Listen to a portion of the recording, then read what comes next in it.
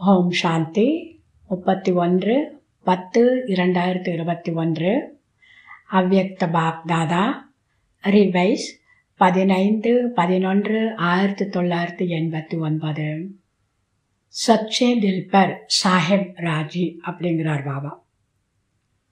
எந்த இடத்துல சுத்தமான மனம் இருக்குமோ அப்படிப்பட்ட மனதை பார்த்து குழந்தைகளை பார்த்து இறைவன் திருப்தி அடைகின்றார் சத்தியமான உள்ளத்தால் இறைவன் திருப்தி அடைகின்றார் என்று விஸ்வத்தின் அனைத்து ஆத்மாக்களுக்கும் உபகாரம் செய்யக்கூடிய பாப்தாதா தங்களுடைய சிரேஷ்டமான பரோபகாரி குழந்தைகளை பார்த்து கொண்டிருக்கின்றார்கள்.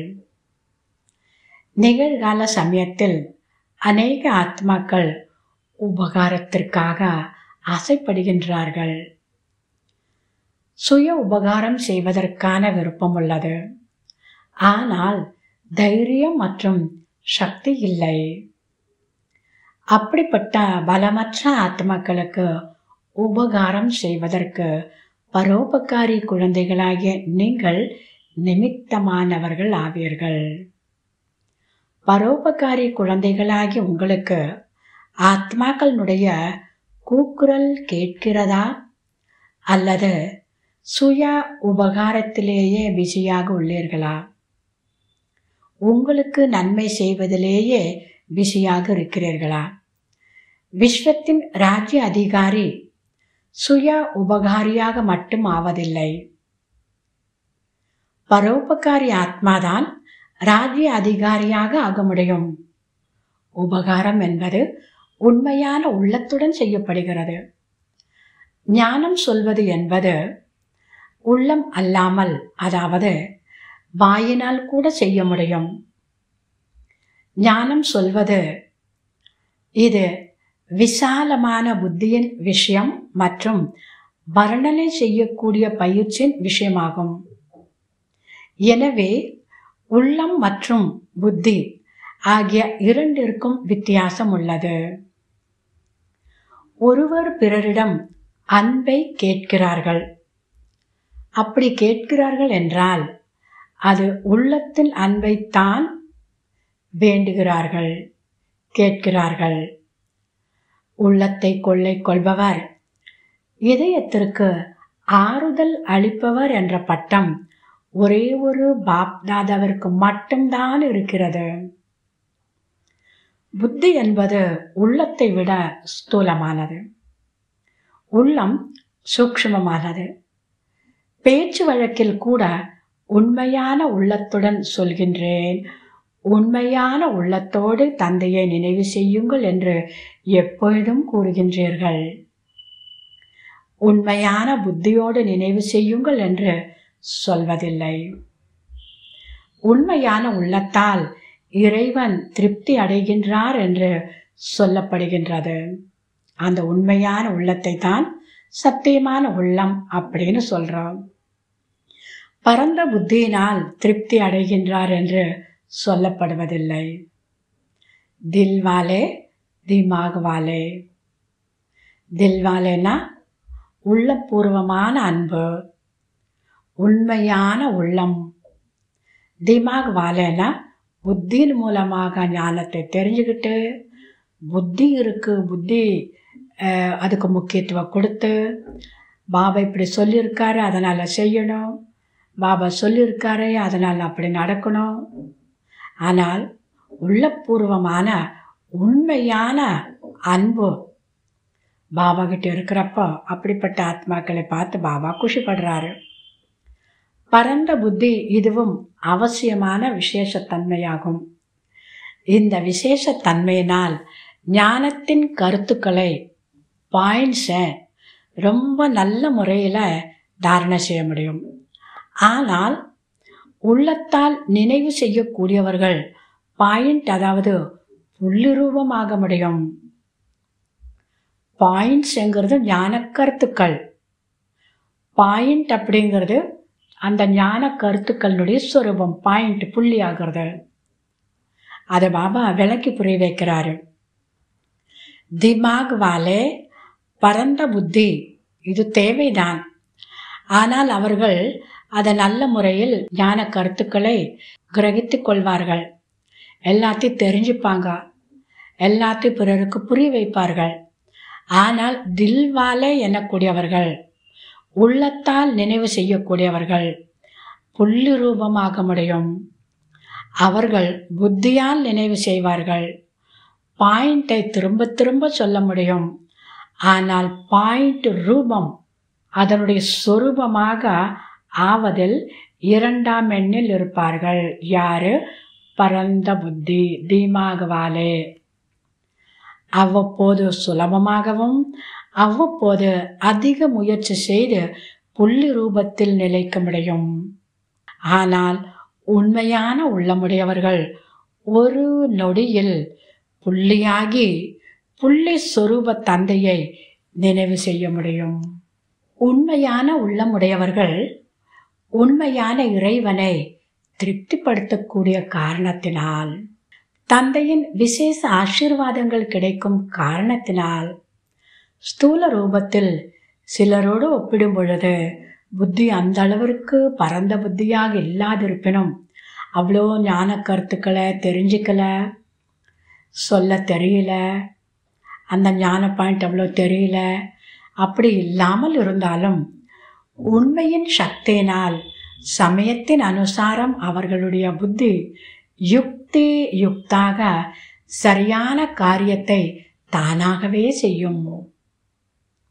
ஏனெனில் எது யதார்த்தமான கர்மம் பேச்சு மற்றும் சங்கல்பமோ அது ஆசிர்வாதங்களின் காரணத்தினால் நாடகத்தின் அனுசாரம் தக்க சமயத்தில் அவர்களுடைய புத்தியில் தூண்டுதல் ஏற்படும் டச் ஆகும் ஏனெனில் புத்திவானுக்கெல்லாம் புத்திவானை அவர்கள் திருப்திப்படுத்திக் கொள்கிறார்கள். யார் பகவானை திருப்திப்படுத்துவார்களோ அவர்கள் தானாகவே ரகசியங்களை புரிந்தவர்களாக யுக்தி யுக்தாக இருப்பார்கள். நான் பரந்த புத்தியின் காரணத்தினால் நினைவு மற்றும் சேவையில் முன்னேறி கொண்டிருக்கின்றேனா அல்லது உண்மையான உள்ளம் மற்றும் யதார்த்தமான புத்தியினால் முன்னேறி கொண்டிருக்கின்றேனா என்று சோதனை செய்யுங்கள். உங்களை நீங்கள் செக் பண்ணிக்காங்க. புத்தியினால் சேவை செய்யக்கூடியவர்களுடைய அம்பு இந்த ஆயுதம் பிறருடைய புத்தி வரைக்கு தான் செல்கிறது. ஆனால் உள்ளம் உடையவர்களுடைய அம்பு உள்ளம் வரை தைக்கிறது என்று முன்பே சொல்லப்பட்டது. எவ்வாறு? ஸ்தாபனையினுடைய சேவையினுடைய ஆரம்ப காலத்தில் சேவையினுடைய முதல் குழுவை நீங்கள் பார்த்திருக்கிறீர்கள். தாதிமார்களுடைய காலத்தில் அவங்க எல்லோருமே எப்படி இருந்தார்கள் எப்படி சேவை செய்தார்கள் என்பதை நீங்கள் பார்த்திருப்பீர்கள். அவர்களிடம் எத்தகைய விசேஷத்தன்மை இருந்தது? அதை பாபா ஞாபகப்படுத்துகிறாரு ஆரம்ப காலத்தில் தாதிமார்கள்கிட்ட எத்தகைய விசேஷத்தன்மை இருந்தது? நமக்கு ஞாபகப்படுத்துகிறாரு என்ன ஒரு மொழியும் மற்றும் சொற்பொழிவு செய்யும் விசேஷத்தன்மையும் கிடையாது. தற்காலத்தில் மிகவும் நன்றாக சொற்பொழிவாற்றுகின்றீர்கள். பிறரை விட கதைகள் மிகவும் நன்றாக சொல்கின்றீர்கள். அத்தகைய முதல் குழுவைச் சேர்ந்தவர்களிடம் மொழி அதாவது சிறப்பாக இல்லை. அவ்வளோ அவங்க நல்ல லெக்சர் எல்லாம் பண்ணதில்லை. ஆனால் அவர்களிடம் என்ன இருந்தது? உண்மையான உள்ளத்தின் சப்தம் இருந்தது. ஆகையினால்தான் உள்ளத்தின் சப்தம் அநேகரை திலாராம் பாபாவனுடையவராக ஆக்குவதற்கு நிமித்தமாக இருந்தது. மொழி கலப்படமானதாக இருந்தது. ஆனால் கண்களின் பாஷை ஆன்மீகமானதாக இருந்தது. ஆகையினால் பாஷை எப்படி இருந்த போதிலும் முட்களிலிருந்து ரோஜா மலராகிவிட்டனர். அந்த முதல் குழுவினருடைய சேவையின் வெற்றி மற்றும் நிகழ்கால சமயத்தின் வளர்ச்சி ஆகிய இரண்டையும் சோதனை செய்தீர்கள் என்றால் வித்தியாசம் தென்படுகிறது அல்லவா அந்த காலத்துடைய சேவை இந்த காலத்துடைய சேவையை பார்க்கும் பொழுது எவ்வளவு வித்தியாசம் தெரிகிறது இல்லையா பெரும்பான்மையானவர்கள் அவர்களை பற்றிய விஷயம் பற்றி தான் சொல்லப்படுகிறது. இரண்டாவது மூன்றாவது குழுவில் கூட சிலர் உள்ளம் உடையவர்கள் இருக்கின்றனர். சுத்தமான தூய்மையான உண்மையான அன்பு நிறைந்தவர்களாக இருக்கின்றனர். ஆனால் குறைவான எண்ணிக்கையில் இருக்கின்றனர். ஆதி காலத்து புதிர் இதுவரை இருந்து கொண்டிருக்கிறது. அது என்ன புதிர்? நான் யார்? தனக்குத்தானே நான் யார் என கேளுங்கள் என்று. இப்பொழுதும் பாப் தாதா கூறுகின்றார்கள் முதல் புதிருக்கு விடை காண தெரிகிறது அல்லவா அல்லது வேறு யாராவது பதில் சொல்லும் பொழுது உங்களுக்கு விடை காண முடிகிறதா? பிறர் கூறினாலும் கூட இது அப்படி அல்ல இப்படி என்று சமாளிக்க முயற்சி செய்வார்கள். ஆகவே தன்னைத்தானே பாருங்கள். சில குழந்தைகள் தன்னைத்தானே சோதனை செய்கின்றார்கள். ஆனால் பார்க்கும் விதம் இரண்டு வகையாக இருக்கின்றது. சிலர் வெறுமனே விசால புத்தியின் பார்வையோடு சோதனை செய்கிறார்கள். அவர்கள் சோம்பேறித்தனம் என்ற கண்ணாடியை அணிந்திருக்கிறார்கள். ஒவ்வொரு விஷயத்திலும் என்ன தெரியுமெனில் தியாகம் செய்தேன் சேவை செய்தேன் பரிவர்த்தனை செய்தேன். நான் செய்த அனைத்தும் அதிகமானவையே. இந்த இந்த ஆத்மாக்களை விட நான் நன்றாகவே இருக்கிறேன். நான் செய்த இவ்வளவு கூட சகஜமானதல்ல. சிறிய பெரிய குறைகள் அனைவரிடத்திலும் இருக்கின்றன. முக்கியமான அதாவது பிரபலமானவரிடத்திலும் இருக்கின்றன. இந்த கணக்கு பிரகாரம் நான் சரியாகவே இருக்கின்றேன். இதுதான் சோம்பேறித்தனம் என்ற கண்ணாடியாகும். இவ்வளவு நேரம் அந்த சோம்பேறித்தனத்துடைய கண்ணாடியை பற்றி பாபா புரிய வச்சாரு. இரண்டாவது சுய முன்னேற்றத்தின் யதார்த்தமான கண்ணாடியாகும். அவர்கள் சத்தியமான உள்ளமுடையவர்கள். அவர்கள் என்ன பார்ப்பார்கள்? தில்வாலா மனதை கொள்ளை கொள்ளும் அந்த தந்தைக்கு எது பிடிக்குமோ அதே சங்கல்பம் பேச்சு கர்மம் இருக்க வேண்டும். யதார்த்தமான கண்ணாடி அணிந்தவர்கள் தந்தை மற்றும் தன்னை மட்டுமே பார்ப்பார்கள். இரண்டாவது மூன்றாவது நபர் என்ன செய்கிறார் என்பதை அவர்கள் பார்க்க மாட்டார்கள். நான் தான் மாற வேண்டும் என்ற இந்த ஈடுபாட்டிலேயே சதா இருப்பார்கள் பிறர் மாறினால் நான் மாறுகிறேன் என்று இருக்க மாட்டார்கள். எண்பது சதவிகிதம் நான் மாறுகிறேன். இருபது சதவிகிதம் அவர் மாறட்டும் என்ற இந்த அளவிற்கு கூட அவர்கள் பார்க்க மாட்டார்கள். பிறருக்கு சுலபமாக ஆவதற்காக நான் முதலில் மாறி உதாரணமாக ஆக வேண்டும். ஆகவேதான் முதலில் நான் என்று முந்திக் கொள்பவர்களே அர்ஜுனன் என்ற பழமொழி இருக்கிறது. ஓட்டேசோ அர்ஜுன். அர்ஜுனன் என்றால் அலௌகிக்க மனிதர் என்ற அர்த்தம். இதைத்தான் யதார்த்தமான கண்ணாடி மற்றும் யதார்த்தமான பார்வை என்று சொல்லப்படுகிறது. பொதுவாக உலகில் மனித வாழ்க்கையில் உள்ளம் மற்றும் புத்தி என்ற இரண்டு முக்கியமான விஷயங்கள் இருக்கின்றன. இரண்டும் சரியாக இருக்க வேண்டும். அதே போன்று பிராமண வாழ்க்கையிலும் விசாலமான புத்தியும் வேண்டும் மற்றும் உண்மையான உள்ளமும் வேண்டும். சத்தியமான உள்ளம் உடையவர்களுக்கு புத்தியின் லிப்ட் கிடைத்து விடுகிறது. ஆகவே சத்தியமான உள்ளத்தோடு இறைவனை திருப்திப்படுத்தி இருக்கின்றேனா? இல்லையென்றால் தன்னுடைய மனதை மட்டுமோ அல்லது சில ஆத்மாக்களை மட்டுமோ திருப்திப்படுத்துகின்றேனா? என்று சதா தன்னை சோதனை செய்யுங்கள். சத்தியமான தந்தையை திருப்திப்படுத்தும் போது பல அடையாளங்கள் தென்படும். இதை பற்றிய சிந்தனை செய்து ஆன்மீக உரையாடல் செய்ய வேண்டும். பாப் தாதாவும் பிறகு கூறுவார்கள். நல்லது. இன்று டீச்சர்ஸ் அமர்ந்திருக்கிறீர்கள். டீச்சர்ஸ் கூட ஒப்பந்தக்காரர்கள் கான்ட்ராக்டர் ஆவீர்கள். ஒப்பந்தம் எடுத்துள்ளீர்கள் தானே? சுய மாற்றத்தின் மூலம் உலக மாற்றம் செய்தே தீர வேண்டும். இப்படி பெரிய பெரிய கான்ட்ராக்ட் எடுத்திருக்கிறீர்கள் அல்லவா? எவ்வாறு நீங்கள் இறந்துவிட்டால் உலகமே இறந்துவிட்டது. நீங்கள் இறக்கவில்லை எனில் உலகமும் இறக்கவில்லை என்று உலகத்தினர் கூறுகின்றனரோ? அதே போன்று சுய மாற்றம்தான் உலக மாற்றமாகும் சுய மாற்றம் இல்லாமல் பிற ஆத்மாவிற்காக எவ்வளவுதான் உழைத்தாலும் மாற்றத்தை கொண்டு வர முடியாது.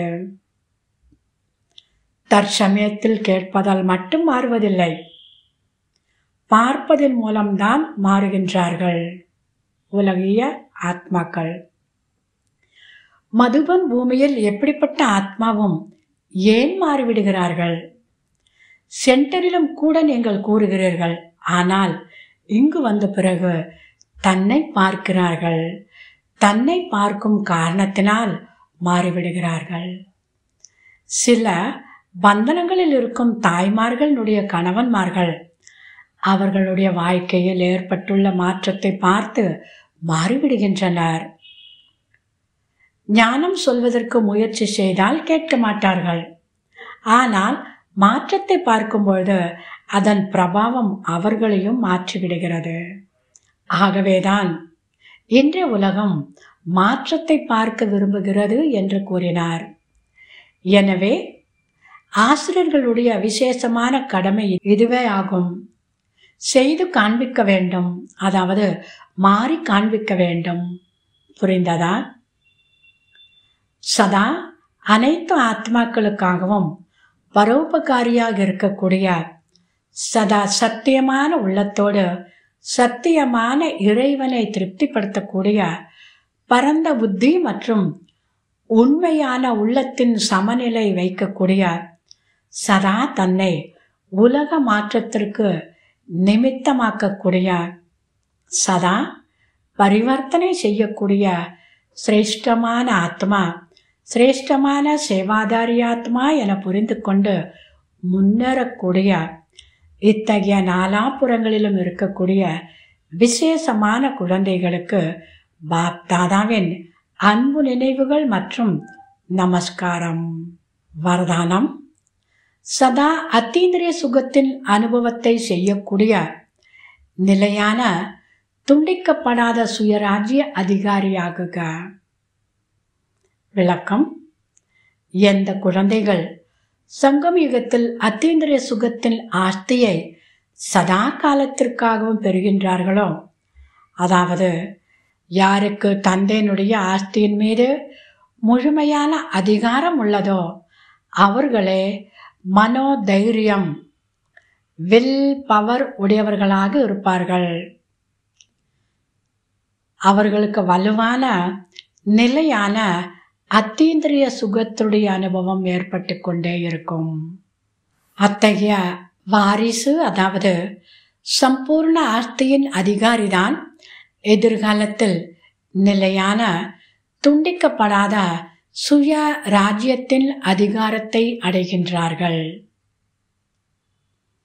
ஸ்லோகன் எங்கு எனது என்பது வருகிறதோ அங்கு புத்தி திரும்பி விடுகிறது